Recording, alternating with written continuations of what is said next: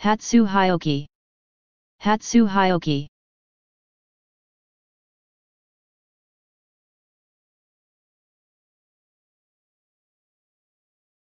Please subscribe and thanks for watching.